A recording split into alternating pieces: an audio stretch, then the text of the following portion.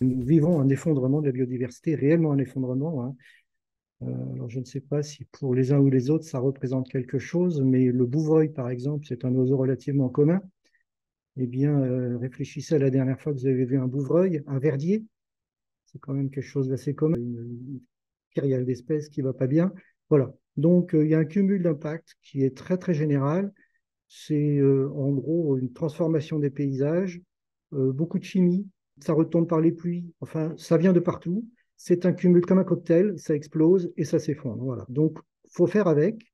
On affronte le quart d'heure des primes et puis on reste optimiste et on avance. Comment euh, sait-on comment on doit diriger la nature?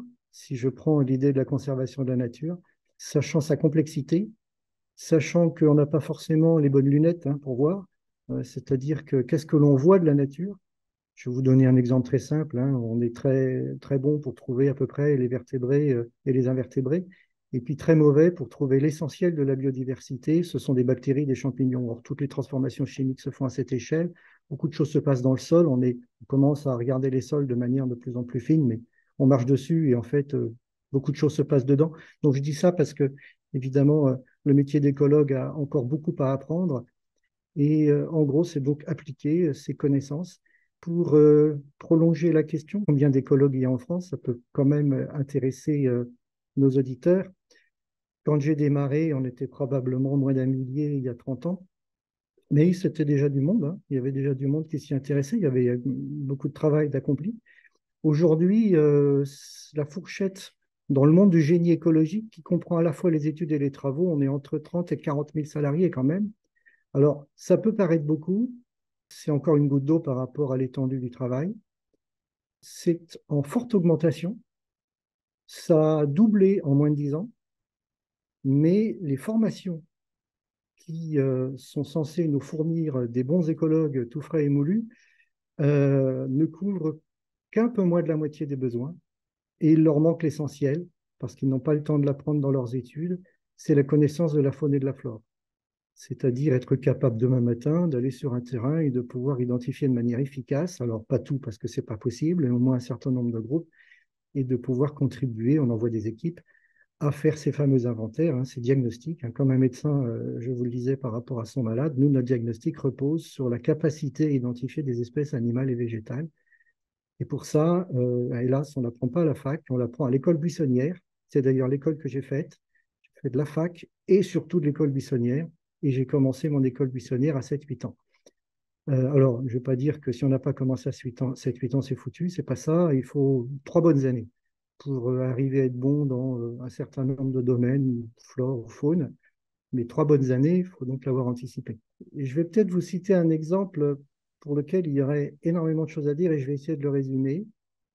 C'est la première fois qu'un insecte a contrarié un grand projet d'aménagement. Enfin, contrarié, tout simplement, c'est une espèce protégée. Il fallait la prendre en compte au titre des espèces protégées, contrarié parce que si on est euh, du côté de l'aménageur, on ne comprend pas bien ce qui se passe. Quand on est en 1997 et qu'on vient vous dire, écoutez, j'ai un insecte de 2 grammes, vous avez oublié euh, dans les études, c'est un coléoptère, il vit dans les arbres à cavité.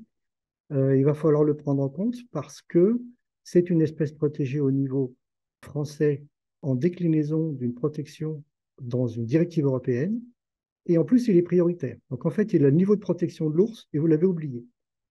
Cet insecte, en fait, c'est un héritage d'un monde forestier perdu qui s'est prolongé dans les formes traditionnelles de l'agriculture. C'est là que c'est très amusant parce que, en fait, avec cette espèce, vous avez tous les sujets.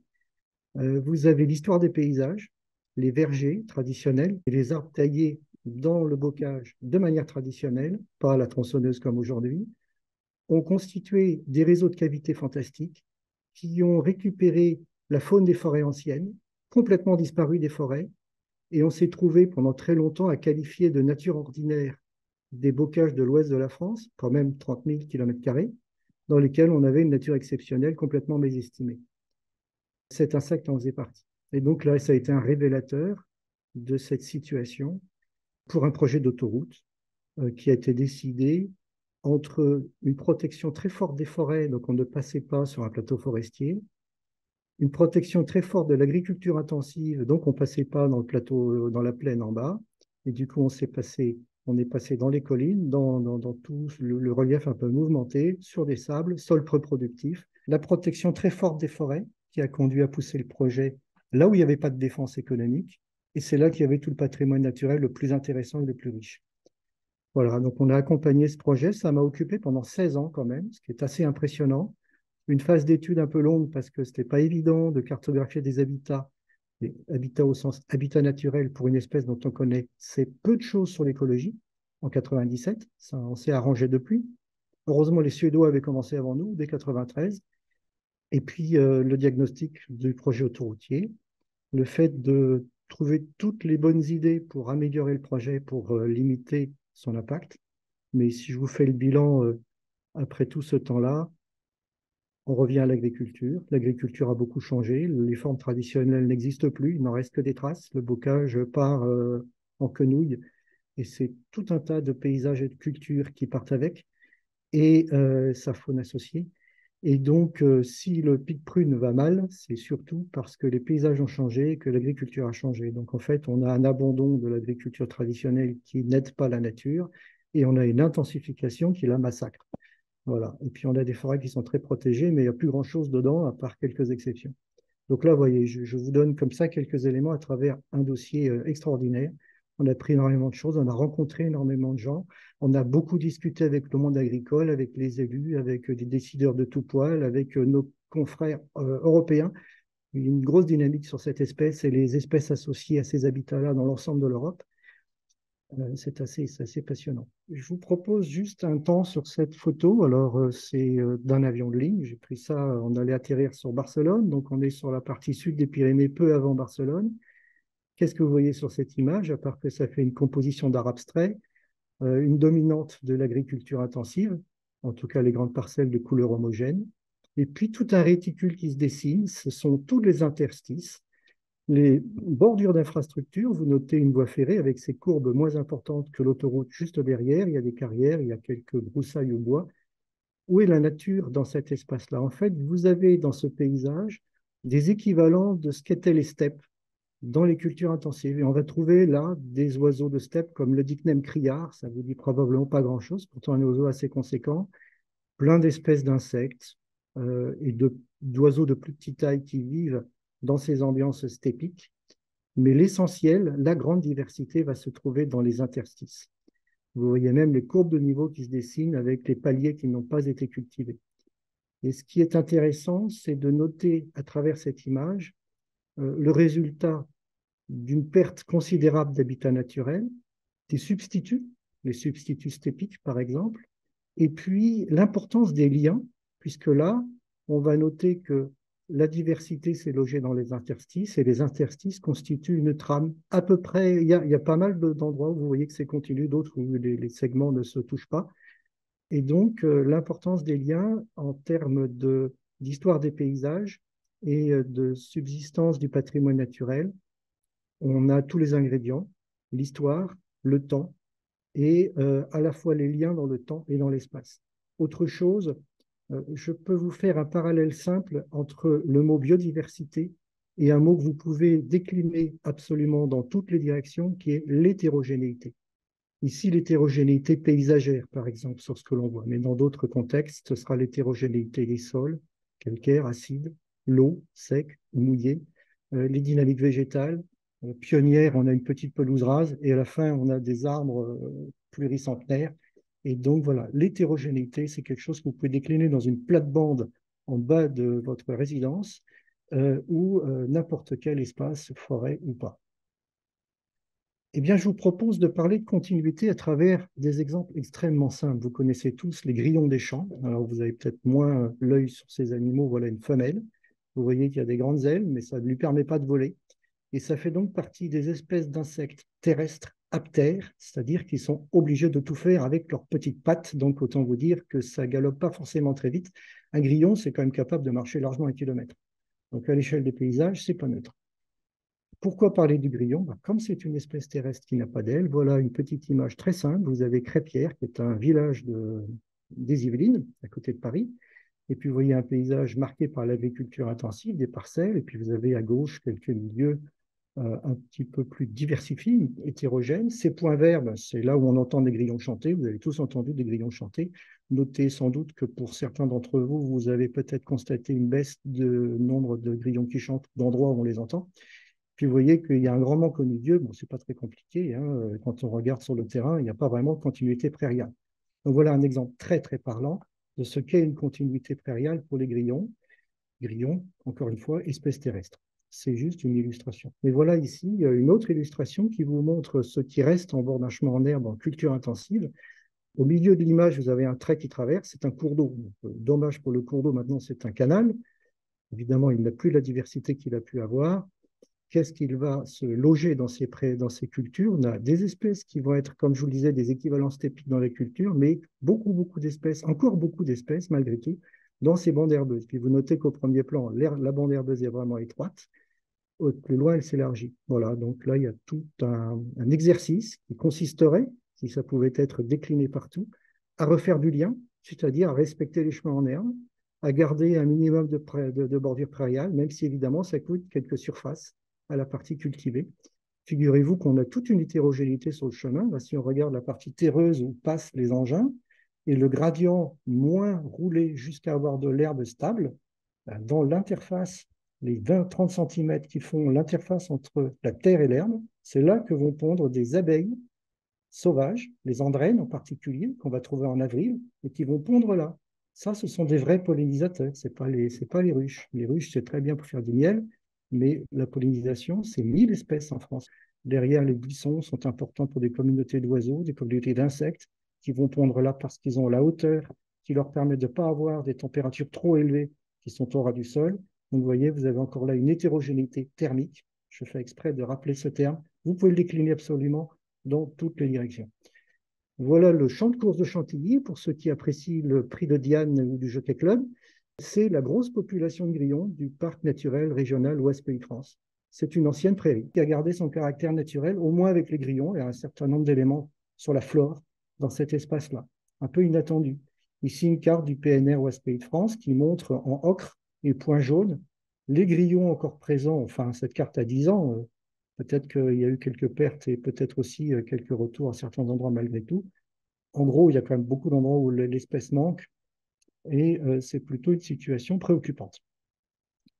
On va faire un petit tour en bord d'autoroute parce que ça vous permet de voir les contrastes de nos territoires. Ici, nous sommes à Sainte-Maure-de-Touraine, donc un peu au sud-ouest de Tours. L'autoroute euh, entaille une vallée euh, et en entaillant la vallée a créé des coteaux. Vous voyez les pentes qui sont plutôt peu végétalisées avec des pelouses ou des sols même assez maigres et puis des endroits où c'est un peu plus dense. Quand vous avez une entaille dans le calcaire et des végétations comme ça, n'importe quel écologue bien constitué s'attend à voir euh, des choses vraiment intéressantes en termes de faune et de flore, même si c'est un bord d'autoroute.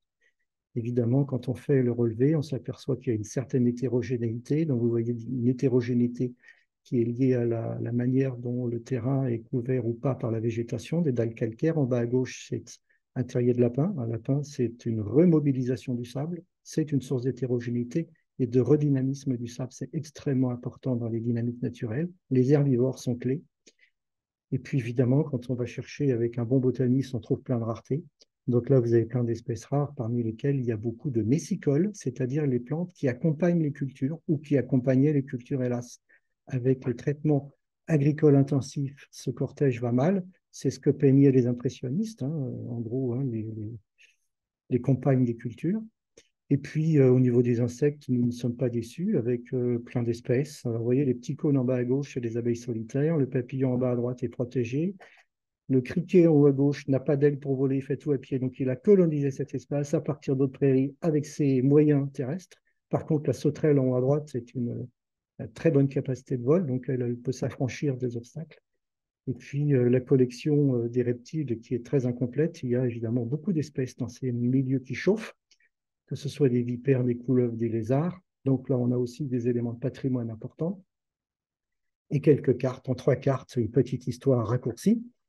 Le tracé du futur autoroute en pointillé et puis en jaune pâle des pelouses qui étaient peu nombreuses sur cette vallée-là, pelouses sur des terrains calcaires pâturés par des moutons.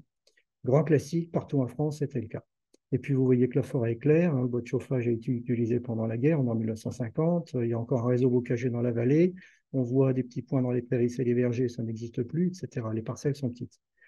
On fait un saut de 20 ans juste avant la construction de l'autoroute. Alors il y a une carrière qui est faite dans la forêt pour, prendre du matériel. Les pelouses ont régressé parce que l'élevage a commencé à régresser. Et puis on a l'entaille qui est dessinée, qui va faire euh, la, belle entaille qu'on vient de voir dans le relief pour la création de l'autoroute. Et cette entaille, elle va être euh, végétalisée par des moyens assez limités, parce qu'à l'époque, la société Cofiroute était économe. Ça s'est colonisé majoritairement par les espèces euh, du secteur. Et donc, vous vous souvenez, je vous ai parlé de messicoles, il y avait aussi des orchidées, etc. Et euh, la chose qui est assez étonnante, et c'est un paradoxe, le paysage a évidemment changé, les parcelles sont grandes, l'intensification de l'agriculture est passée par là, la chimie qui s'est développée surtout à partir des années 80 et qui n'a cessé de croître et en délire n'a pas arrangé euh, nos sols, nos sous-sols, l'eau et évidemment les communautés qui vivent dessus. Les pelouses que je vous ai montrées deux cartes avant se sont refermées parce qu'il n'y a plus de moutons dessus.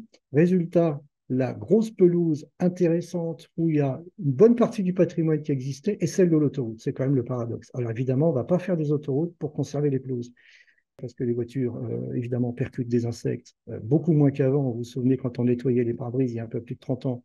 Bon, mais malgré tout, la mortalité continue sur des oiseaux, sur des mammifères, etc. Donc, on a tous ces impacts bien évidents.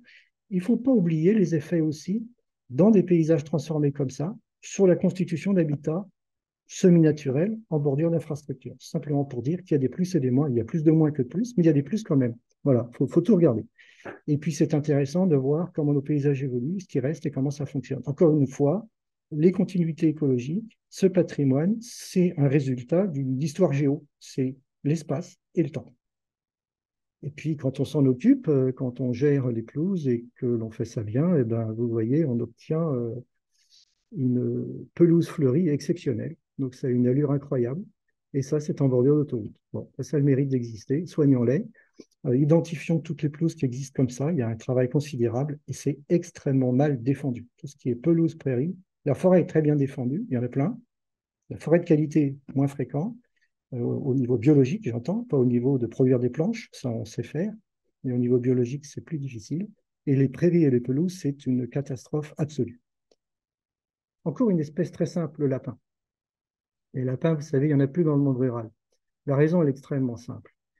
Euh, je vais vous montrer quelques exemples qui vous montrent l'inverse, là où il y en a plein. Ici, vous reconnaissez un TGV, c'est la ligne qui va vers l'île. Euh, vous voyez les terriers sur le versant d'en face. Et puis là, euh, encore une fois, je prends plein de photos en avion, j'atterris à Roissy, le paysage direction de Paris, et puis vous voyez que ben, il y a des cultures, il y a des zones industrielles, il y a des infrastructures, il y a des ronds-points, et euh, regardez bien les interstices, c'est-à-dire euh, tout ce qui borde les zones industrielles, l'intérieur d'un rond-point, euh, le long de la voie ferrée. Vous voyez que c'est un réseau de pelouses prairies buissonnantes. C'est incroyablement riche tout ça, avec le paradoxe que c'est dans nos interstices et c'est blindé de lapins, entre autres. Et c'est plein d'insectes, c'est plein de menthes religieuses qui mangent des insectes de plus petite taille, c'est plein de reptiles, etc. Et donc, euh, voilà une image qui vous montre un réseau. Alors, pourquoi le lapin s'est effondré dans le monde rural? Le bout du monde pour un lapin adulte, c'est 200 mètres. Un jeune en dispersion, c'est 1 km. Maintenant, vous vous figurez vos coins préférés de campagne où les lapins ont disparu et vous vous représentez les populations qui, sont, qui étaient souvent en marche des fermes, qui sont parfois encore. Et puis maintenant, vous imaginez euh, les moustiques et tous les insectes qui trimballent un certain nombre de maladies dont la myxomatose, mais d'autres virus, et qui peuvent tuer 90% des lapins en une saison. Alors, quand vous avez dans ces paysages-là de Roissy et euh, zones Orly, c'est pareil, etc., des dizaines ou des centaines de milliers de lapins, en perdre 90%, c'est pas grave. Puis la démographie de l'espèce, ça repart. Dans le monde rural, vous avez 50 lapins autour d'une ferme ou 100, là, vous avez un fort risque de perte de la population. Et puis, il ne reviendra pas, puisque les distances sont trop loin entre ces petites populations isolées. Voilà, c'est encore de l'histoire géo. C'est-à-dire que là, vous avez un problème spatial avec des capacités de dispersion, et puis un problème dans le temps, avec l'évolution des paysages. Voilà les joyeux lapins sur une aire d'autoroute qui ne plaisent pas du tout aux gens qui plantent sur l'air et dont toutes les buissons sont bouffés. Je vous ai montré un certain nombre d'images qui montrent que ça va pas bien, mais qu'on a aussi des paradoxes euh, dans cette nature qui nous reste. Et puis, euh, on peut réparer un certain nombre de choses. Alors, il y a plein de sujets de réparation qu'on pourrait présenter. Là, je vous en montre un, c'est le sujet des passages pour la faune. Donc, vous voyez cette autoroute dans la Sarthe, on voit un gros pont avec des, des bordures en bois. Donc, il a été créé des ouvrages aussi inférieurs. Et ces ouvrages, euh, ben, en France, on a été assez bon au niveau mondial. Hein. Ça fait euh, presque 50 ans qu'on en fait. Au début, évidemment, ils n'étaient pas formidables. Les dernières générations, depuis 15 ans, sont plutôt bien faits, bien placés et bien équipés et permettent véritablement de, de faire quelques réparations à ces effets de coupure des autoroutes. Alors, on met euh, des appareils photo automatiques. Là, dans la boîte aux lettres, en fait, c'est un piège photo. Et puis, on a des images assez étonnantes. Vous voyez en haut à gauche, c'est un combat de chevreuil sous TGV euh, Est européen. En dessous, c'est un combat de chevreuil au-dessus de l'autoroute A77, l'autoroute de l'Arbre, pour ceux qui connaissent. Puis là, vous avez les ongulés du coin qui passent, le chevreuil qui mange les plantations, le daim échappé d'un parc parce que nous n'avons plus de daims sauvages. Il y en avait à l'interglaciaire précédent, mais ça fait un peu loin. Et ce que nous avons en France sont des échappés. Et puis vous avez les gens qui euh, soit travaillent, soit passent, hein, les chasseurs, les chercheurs de champignons, voilà, tout ce beau monde traverse. Et puis les cerfs les utilisent, et puis les pièges photos vous permettent de voir que là, on a quatre cerfs différents. En fait, ils étaient 15 à passer cette année-là. Et euh, quand on fait passer un cerf, eh bien, euh, on ne fait pas passer qu'un cerf ou un sanglier ou un chevreuil. Ils transportent plein d'autres choses qui sont accrochées sur le poil, dans les pattes, etc. Et ici, c'est les crochets des fruits qui permettent à la plante de se disséminer le territoire via les ongulés, mais il y a donc plein de, systèmes. Et donc, simplement, l'idée, c'est de montrer que c'est toujours imbriqué et que l'on a euh, des, euh, eh bien, des transporteurs euh, d'autres organismes. Et donc, là, une illustration. On fait aussi des choses sur les cours d'eau. Alors ça, c'est Christian Bouchardy qui a eu cette excellente idée de mettre des marches sur le bord de cet ouvrage en béton.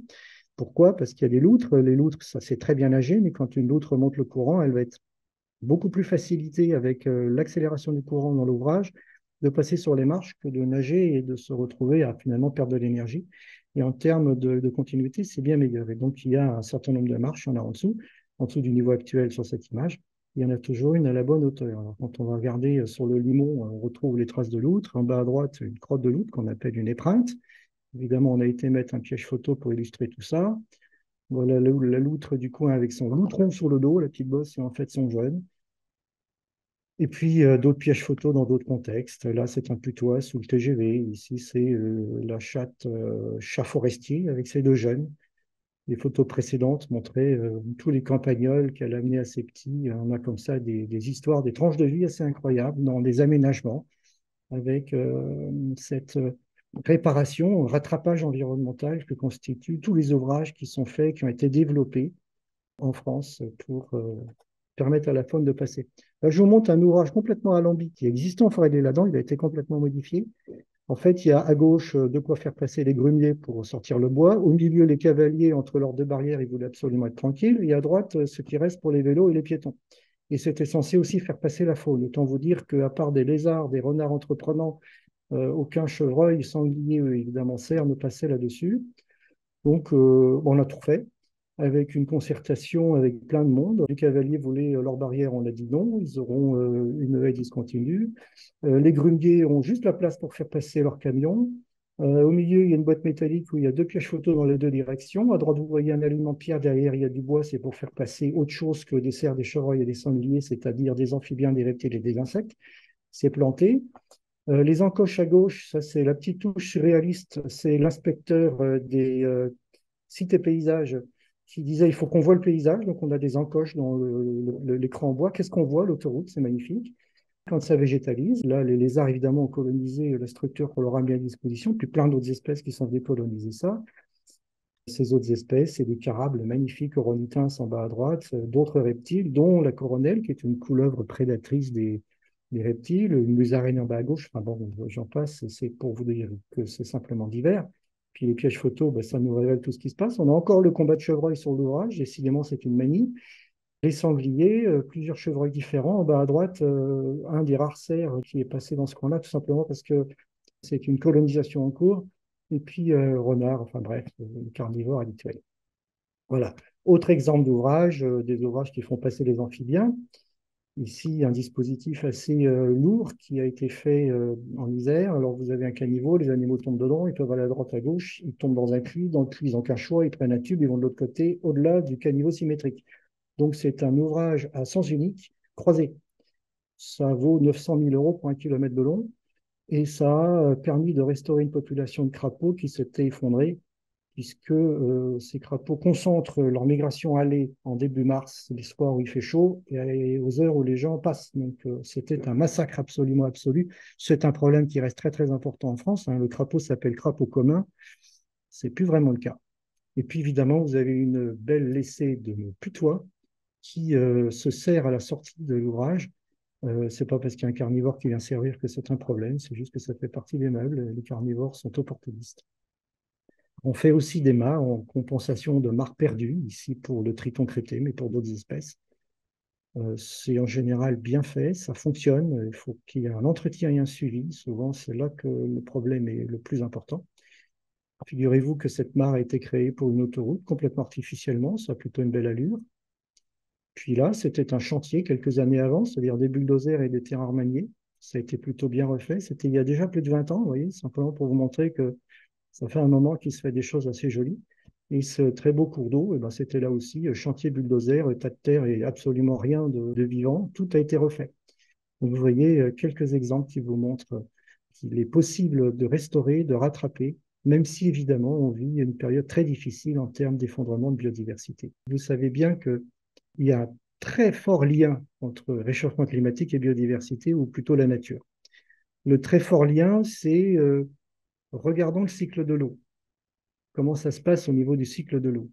Vous savez que nos prédécesseurs se sont acharnés à transformer nos paysages, ce qui fait que l'eau qui tombe coule plus vite aux rivières, les rivières coulent plus vite, et euh, les zones humides ont été euh, anéanties. Enfin, ce qu'il en reste, c'est vraiment peau de chagrin. On a construit dedans, donc au passage, on a des gens qui se retrouvent dans l'eau. Tout ça pour dire que le cycle d'eau a été malmené, le cycle de l'eau. Euh, les forêts, je vous disais, on en a plutôt davantage. Je, vais rester pour le moment euh, dans notre partie ouest européenne. Mais par contre, vous savez qu'on a perdu à peu près 500 000 km de haies en France, dont 200 000 en Bretagne, que la perte de ce réseau de haies, il est dit que ça fait 30% de pluviométrie en moins. Donc, on a aussi un effet sur la pluviométrie, sur l'évaporation. Pour revenir à la ville, planter des arbres, pourquoi pas? Très bonne idée. Pas forcément des arbres indigènes, parce que si je dis ça, c'est que on n'a pas de bonne boule de cristal pour savoir quels sont les arbres qui, en contexte urbain où ça chauffe, où les sols sont difficiles à reconstituer dans des conditions correctes, il faut quand même trouver des arbres qui sont des bons candidats à résister à ces conditions qui vont euh, pas s'arranger. Mais c'est évidemment important. Euh, les arbres, ça a plein d'effets. Hein. C'est pas seulement le cycle de l'eau. Euh, on a bien noté que pour un hôpital qui a des arbres en face des fenêtres, les gens se récupèrent mieux que s'il y a du béton. Donc ça aussi ces intérêts-là. Puis vous savez que les arbres, ils émettent des pluies de terpènes. Alors c'est pas souvent que nous le voyons, mais ça m'est arrivé d'en voir parfois. C'est assez spectaculaire. En contre-jour, vous avez une véritable pluie qui tombe des arbres évidemment, c'est comme un aérosol. Donc euh, oui, oui, euh, il y, a, plein de choses à faire. Ça dépend de la taille du jardin, mais même sur des surfaces assez petites, on peut faire euh, des choses intéressantes. Alors souvent, il peut y avoir une petite concurrence entre les fleurs pour décorer et euh, la diversité pour euh, accueillir des papillons. Et la petite concurrence, c'est où est-ce que j'ai quelques heures de lumière dans mon jardin quand on est entre des immeubles ou alors qu'il y a en tout cas des écrans. Après, c'est quoi la diversité? Eh ben, Quand vous fauchez l'air, vous faites un tas d'herbes, euh, là aussi, vous pouvez mettre quand même dans un consoleil, sinon il aura moins d'efficacité. Ce tas d'herbes, ça va être un refuge à plein de choses. Un tas de bois, vous pouvez aussi faire un joli tas de bois bien propre et ça va être un refuge à plein d'espèces. Vous laissez l'herbe monter sur certaines bordures et puis eh ben, vous l'expliquez à ceux qui sont grincheux et qui ne comprennent pas. Le reste, vous tondez parce qu'il ben, faut quand même pouvoir s'asseoir dans l'herbe, etc. Vous faites une mare. Alors là, une mare, vous n'allez pas être déçu non plus de tout ce qui va arriver. En fait, euh, vous avez un curseur qui n'est pas évident. C'est que le biologiste, il est ravi quand il y a des arbres tordus, à cavité écroulant. Et monsieur le maire, qui est quand même en responsabilité, n'apprécie pas du tout que des morceaux de bois tombent sur la tête des gens. Donc, euh, on se retrouve avec beaucoup d'alignements de, vieux arbres hein, qui sont des merveilles de biodiversité, même si ce sont des platanes. Hein. Platane n'a pas existé en Europe de l'Ouest euh, historiquement, mais il est colonisé par plein d'espèces malgré tout, malgré euh, que botaniquement, il n'y a pas d'équivalent. Il n'y a pas très loin de chez moi un parc qui est abandonné parce qu'il n'y a plus d'usage, parce que les propriétaires n'en font plus rien. C'est un équivalent de vieille forêt absolument dingue. Il y a des envies de rachat par la région pour faire, en gros, l'espace vert qui manque dans la ville je vois ça arriver avec une, très forte inquiétude, c'est-à-dire que tous ces arbres qui sont dans tous les sens, des chandelles, des arbres secs, des arbres en bon état, font une mosaïque de milieux extraordinaire. Il y a une diversité là qui est absolument dingue. Euh, ça passera pas bien euh, dans un espace public. Donc, euh, comment faire, comment mettre le curseur, comment éventuellement proposer des espaces dans lesquels les gens, ne vont pas et on explique les arbres peuvent s'écrouler, vous n'y allez pas, mais ça fait partie de la biodiversité de cet espace. Il y a des choses à inventer, des choses à, des choses qui, évidemment, plein de choses qui existent à simplement appliquer. Vous savez, je m'intéresse beaucoup au loup et euh, on a souvent cette question, finalement, un loup, ça sert à quoi? Mais j'ai eu cette question aussi pour le pic prune. Alors, on a parfois une réponse assez simple, mais finalement qui vaut ce qu'elle vaut. Euh, L'art, ça, sert à quoi? Ça sert à notre éblouissement. La nature, elle a cette beauté incroyable, cette complexité, cette découverte permanente. Donc, euh, je pense que déjà, c'est un des premiers vecteurs. Après, quand on rentre dans le, dans le vif du sujet, ben, on s'aperçoit tout simplement qu'elle rend plein de services. Donc, euh, on, peut simplifier sur un, point très simple. Hein. Euh, la nature, c'est notre assurance vie collective à l'échelle mondiale. Donc, si on se convainc de ça, on devrait arrêter de faire des bêtises. Et c'est pas ce qu'on fait. Euh, on a plutôt tendance à être dans une culture de la maîtrise de la nature. Euh, on le voit à travers l'aménagement rural et euh, ça ne fait qu'aggraver les problèmes. Donc, ben, il faut renverser les points de vue. Il faut changer d'angle et puis tenter de l'expliquer. Tout à l'heure, je disais que la loi de 1976 avait posé toutes les bases. Alors, ça s'appelait pas ERC. ERC, c'est quoi? En fait, c'est une séquence réglementaire qui d'ailleurs peut rajouter deux A. Euh, le premier A, c'est anticiper avant le E. E, c'est éviter. Donc vous avez un projet, euh, vous avez par exemple une déviation de village où on va poser une usine quelque part, ou euh, pourquoi pas une école. la première chose, c'est que l'aménagement en question, où va-t-il, où est-il prévu? Et on peut faire un pré-cadrage dont le terme A anticipé allez voir rapidement si on a des enjeux de nature que l'on peut identifier. On peut même voir des choses en janvier. C'est pas formidable parce qu'évidemment la nature ne s'exprime pas vraiment en janvier. On a peu d'espèces qui sont, qui, sont, qui sont observables. Mais on peut commencer à faire des choses euh, en première étape et d'éviter les impacts. Donc c'est le E de ERC. La suite, c'est euh, vous avez votre projet sur lequel vous avez défini un diagnostic. Cette fois-ci, vous n'êtes pas venu qu'une seule fois, vous êtes venu au moins quatre saisons dans l'année, donc vous avez beaucoup de choses à dire sur l'espace en termes de faune et de flore. Et puis, on va, euh, en travaillant avec le porteur de projet, parce qu'ils ont parfois de très bonnes idées, il ne faut pas du tout les exclure de la discussion. On est indépendant, on fait ce qu'on veut, on dit des choses qui peuvent fâcher, mais on le dit en bonne intelligence.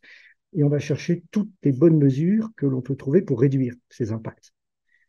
Et puis, il arrive évidemment qu'il en reste des impacts. Alors, c'est pas toujours facile de l'exprimer parce que on n'est pas dans de la physique. Hein, c'est pas 1 plus 1 font 2, parfois c'est 1 plus 1 font 3. C'est pas simple. Mais euh, on peut et on doit définir ce que l'on appelle des impacts résiduels. Donc on a fait tout ce que l'on pouvait imaginer pour réduire ces impacts après avoir évité les, les, sujets majeurs. Et les impacts résiduels nous emmènent dans le C, et on évite d'y aller. Le C, c'est la compensation. C'est presque un aveu d'échec. C'est-à-dire que si on doit compenser, ça veut dire qu'on n'a pas su correctement gérer les premières étapes. Mais hélas, on est parfois contraint. Alors, le mot compenser il y a dix ans était beaucoup plus light qu'aujourd'hui. Encore une fois, tout était dit dans la loi de 76 et tout prend d'autres proportions maintenant. Et d'autant plus que la nature ayant complètement perdu euh, ses ailes, c'est pas du tout évident de compenser. On est censé, je fais exprès de dire ça comme ça, arriver à quelque chose où on a des équivalences écologiques et euh, de retrouver euh, ce que nous avons perdu. je vais vous donner un exemple très simple. Vous perdez des nids d'hirondelles sur un aménagement très simple qui est euh, on ravale des maisons. bon, ben, il va falloir remanier des endroits où il y a les nids d'hirondelles. Bon, les hirondelles savent reconstruire leurs nids, si elles sont là. Donc vous faites à côté de votre opération de ravalement des dispositifs qui sont maintenant assez bien éprouvés, où on sait faire des mâts avec des structures artificielles, où les hirondelles vont aller s'installer parce qu'elles ont déjà l'amorce de leur nid, ou carrément les nids sont construits, elles n'ont plus qu'à s'installer, logement gratuit. Et puis, a même mieux, il y a des entreprises qui vous font des champs d'hirondelles pour leur dire c'est ici, venez. Bon, ça, ça devient un peu kitsch, mais simplement pour dire que ça existe. Mais vous faites les meilleures mesures du monde. Il vient de se faire un point sur l'évolution, plutôt, hélas, la mesure de l'effondrement des oiseaux communs. Ça va être publié bientôt. Mais sur l'hirondelle rustique en Île-de-France, depuis 15 ans d'observation continue, moins 90% il ne reste que 10% de ce qu'on voyait il y a 15 ans. Il y a 15 ans, ça avait déjà régressé. Donc en fait, il reste probablement moins de 5% de ce qu'il y avait après-guerre. La question de retrouver ce que nous avions, vous avez vite compris qu'on peut faire les meilleurs dispositifs à hirondelles. Si vous n'avez plus d'hirondelles, vous n'aurez plus d'hirondelles. Donc on est vraiment confronté à ça. Alors là, j'ai pris un, un, sujet que tout le monde perçoit, tout le monde a vu l'effondrement des hirondelles. Je vais revenir sur l'équivalence. On est dans un monde d'échanges mondiaux dans tous les sens. On se retrouve avec plein d'espèces qui sont euh, apportées, et vous avez tous entendu parler du frelon asiatique, des perruches. Les perruches, ça fait du bruit, euh, ça décore, euh, ça fait probablement pas tant de dommages qu'on pourrait l'imaginer. Les frelons asiatiques, c'est un peu plus désagréable. Et puis, on a plein de plantes qui débarquent. Et là, on a une modification profonde de nos écosystèmes contre lesquels on, est complètement désarmé. Donc, dans nos études, on a euh, tout un tas de, ceintures et bretelles. Vous allez surveiller les espèces invasives, vous allez lutter contre, etc. je peux vous dire que on donne des coups d'épée dans l'eau. On fait euh, de temps en temps du propre sur ce sujet localement, mais devant la masse du problème, on n'y arrive pas. Alors, on a plein d'espèces qui viennent nous gêner, mais je vais vous donner un inverse parce que comme ça, ça permet de mettre un peu la balle au centre. On n'est pas les seuls à recevoir des espèces invasives, on en envoie aussi. Vous connaissez tous euh, l'agent d'Europe, qui est euh, cette plante piquante des Landes atlantiques en Bretagne, qui est jaune en plein hiver. L'agent d'Europe a trois bases génétiques, c'est triploïde, c'est-à-dire qu'en fait, vous avez comme trois patrimoines génétiques dans la plante. Eh bien, c'est dans le top 5 des invasives mondiales. Vous voyez, donc chez nous, elle est rangée dans nos landes, ailleurs, c'est une horreur. dans d'autres endroits, voyez, c'est simplement vous dire c'est dans tous les sens. face à ça, c'est pas évident parce qu'on a donc euh, la notion d'équivalence écologique. Euh, on doit donc retrouver un habitat naturel, habitat naturel au sens là où vivent des espèces ou des communautés d'espèces, et on doit être capable de reproduire cette, équivalence-là. Vous comprenez que, ce n'est pas facile. Alors c'est pas pour ça qu'il faut pas euh, le faire avec le meilleur soin du monde. Évidemment, la séquence ERC a des limites. Alors c'est des limites qui sont liées tout simplement au fait que le sujet n'est pas simple. Et puis on est dans un monde qui change, où ça complique les choses. La nature, à la limite, n'a pas besoin de nous, mais nous la malmenons. Donc, euh, bah, faisons au mieux pour euh, limiter la casse, là où on le peut. Et c'est un peu la, touche d'optimisme.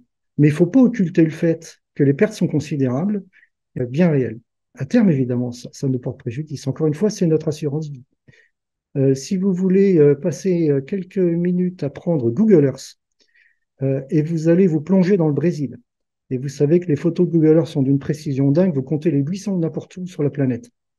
Regardez à quel point le Brésil a massacré ses forêts. Vous allez voir les surfaces ouvertes, les layons dans lesquels on ne retrouve que du sol.